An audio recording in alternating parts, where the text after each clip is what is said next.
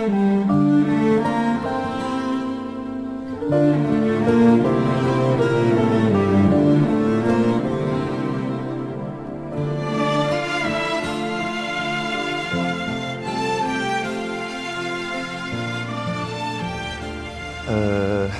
23 Eylül 1990 İstanbul doğumluyum. Ee, normal ee, her çocuk gibi böyle eğlenceli ve inanılmaz hiperaktif bir hayatım vardı.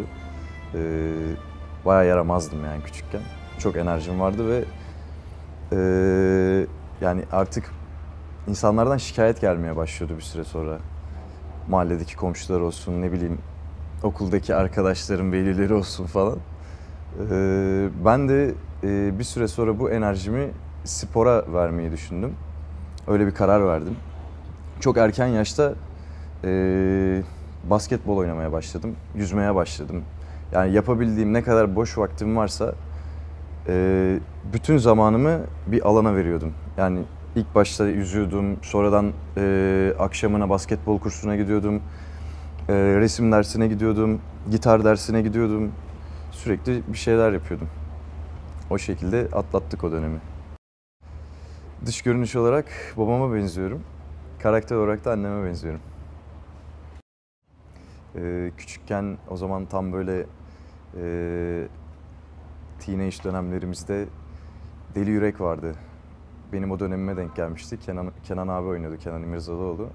Onu çok beğenerek izliyordum. Öyle bir oradan aldığım gazla böyle bir tavırlara falan giriyorduk.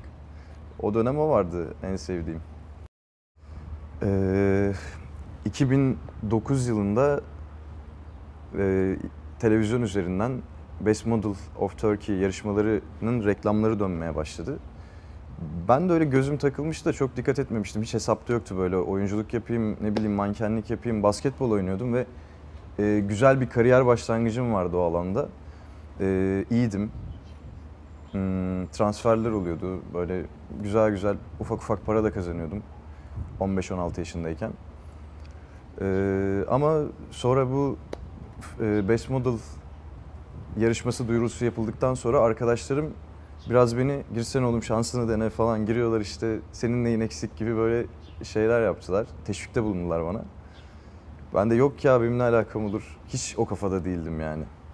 Ondan sonra velhasıl bir şekilde e, karar verdim ve e, ne gerekiyorsa artık bir tane fotoğrafçı arkadaşım vardı. Fotoğraf istiyorlardı ilk elemelerde.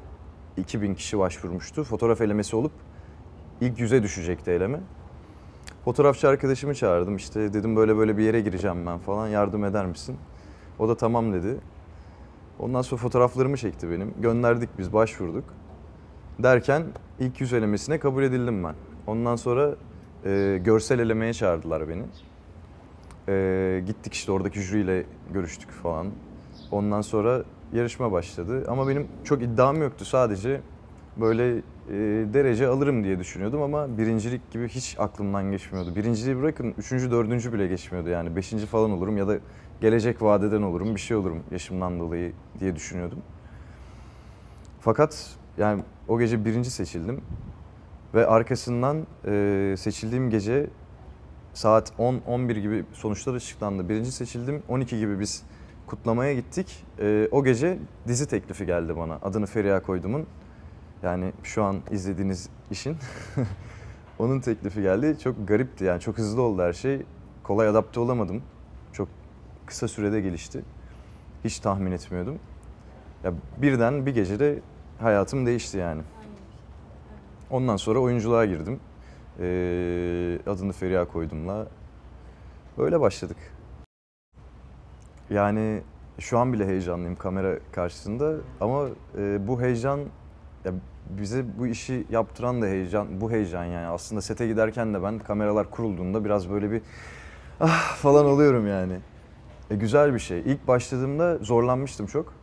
Ee, ya heyecanımı kontrol edemiyordum o zaman. Şimdi o heyecanımı kontrol etmeyi öğrendim. Zaman geçtikçe, profesyonelleştikçe. e, şu anda e, gayet rahatım ama e, ilk başta o arkadaşlarımın, Yusuf'un, Hazal'ın, e, Vahide ablanın, Ceyda'nın desteği olmasaydı yabancı biriydim çünkü tamamen sektöre uzaktım ve ilk defa hayatımda kamera görmüştüm. Ee, ilk kez dizi ortamında bulunuyordum. Küçüktüm. Ee, Bana çok destek oldular sağ olsunlar. Ya onların sayesinde ee, ısına ısına işe kolay bir şekilde kısa sürede adapte oldum. Emir rolü oynaması keyifli bir roldü. Ee, çok zengin bir hayattan gelen zengin bir çocuk. Fakat duruşu ve ee, yaşına göre düşünceleri bayağı kendinden olgun. Ya Emir 20 küsur yaşındaydı ve 30 35 yaşında adam olgunluğunda hareket edebiliyordu. Yani ve Emir bana şunu kattı. Ben de bana da bir olgunluk kattı oynadığım karakter. Tabii onun artık bir süre sonra iki sene oynuyorsun o karakteri ve olaylar karşısında verdiği sakin tepkiyi görüyorsun. Yani güzel bir şey. Ondan da bir şey kaptım. Diğer oynadığım karakterlerden de öyle. Ama Emir'in yeri benim için şöyle ayrı. İlk oynadığım karakter ve e, o hep yani hayatımın bir köşesinde farklı bir yerde kalacak. İlk beni oradan tanıdı herkes çünkü. E, karakter olarak benziyoruz Emir'le. Ben de böyle doğrucuyumdur biraz. Bayağı e, duygusalımdır, vicdanlıyımdır. E, benzediğimiz yönler var. Yoksa var mı? Var çok. Zaten e, görsel olarak da direkt bakıldığında anlaşılır o fark. E, karısını kaybetmiş bir adam oynuyor Emir devamında. Emir'in yolunda ve bütün ailesine işte tanıdıklarına, arkadaşlarına, herkese duvar örmüş vaziyette tamamen inzivaya çekilmiş kendi evinde e, bayağı serseri gibi takılan bir çocuk. Ölmekten korkmamaya başlıyor. Bir süre sonra bütün pislik nerede var onların içine giriyor, kavgaya giriyor, karışıyor hiç alakası olmadığı halde.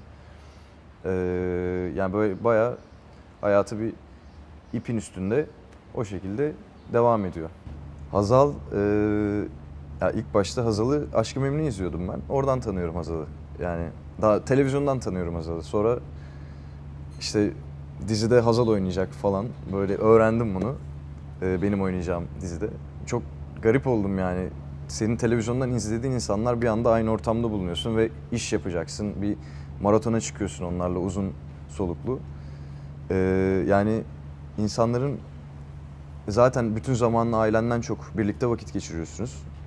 Ve karakterlerini, artık yapılarını öğreniyorsun. Hazal da çok tatlı bir insan. Bana çok destek oldu. Ee, o da benim ilk partnerim. Onun da yeri her zaman ayrı, ayrıdır bende. Hala da görüşürüz. Öyle. Çok takdir ediyorum. Ee, kendini Türkiye'ye kanıtlamış bir insan. Ee, çok başarılı işler yapıyor ve daha da başarılı işler yapacağına eminim. Vahide abla ee, yani Vahide abla Vahide abla ile çok e, aşırı sahnemiz olmadı bizim.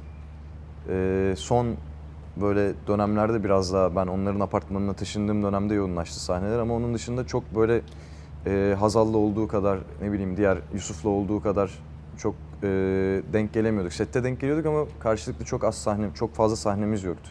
Ama ya onunla bir dakika geçirmek bile insana bir şey öğretiyor. Bende de bir de şey vardır böyle sömürürüm bilgilerini insanların. Yani tuttum mu böyle abla da anlat. Abla böyle nasıl olur, nasıl olur, nasıl yaparız? Ee, fikirlerine, düşüncelerine ee, güvendiğim insanlarda Vahide abla da onlardan biri. En başta gelenlerden. Çok yardımcı oldu. Ceyda da çok enerjisi yüksek. ee, böyle sete geldi mi böyle bir enerji dolar set. Ee, morali bozuk insan varsa hemen neşelendirir onu. Çok güzel bir enerjisi var. O yönden de çok şanslıydık. Yani yoruluyorduk, şey oluyordu, bazen moralimiz bozuk oluyordu. Ee, o inanılmaz profesyoneldir. Hiç böyle moral bozukluğunu çaktırmaz kimseye. Ya insanız normal. En ufak bir moral bozukluğu anında yüzüne yansır değil mi? Ceyda'da hiç öyle bir şey yok. Çok güzel işini yapar, çok profesyonelce. Herkesi de neşelendirir, herkesi de keyiflendirir. Çok keyifliydi onunla çalışmakta. Var. Yani e, kaçıncı bölümdeler bilmiyorum ama tüyo vermek gibi olmasın sonra. Sonuna geldiler artık. Ha, bitiriyorlar. Az kaldı bitiyor. Yani Haziran ayında bitiyor o bitiyor. Emir'in yolu başlıyor. Emir'in yolu mu başlıyor? Ee, bu Feriha'nın psikopat bir nişanlısı vardı Halil. Onun ee, beni Feriha beni kaçırıyordu. bir eve orayı hiç unutmuyorum. Neden unutmuyorsun dersen sahne olarak ya e, duygu olarak anlamında değil. Hani sahnede yaşadığım duyguyla alakalı bir şey değil. O evde biz kışın e, eksi bilmem kaç derecede karşıda Kavacık Tepesi'nde tam rüzgar alan bir yerde e, camları kırık. Full hiç soba yok evde. Ve bende sadece bir gömlek var. Hazal, Hazal'da da ince bir şey var üstünde. Yani iki gün boyunca çekim yaptık. Ve donduk yani. Ben bir de bağlı duruyordum böyle hiç hareket edemiyorum. Beni bağlıyor rol gereği. Ya o- onu hiç unutamıyorum. Hatta bir araya geldiğimizde de oyuncu arkadaşlarla o günden bahsederiz yani. Ne gündü, ne nalet gündü falan diye böyle. Ee, unutamadığım anılardan bir tanesi o.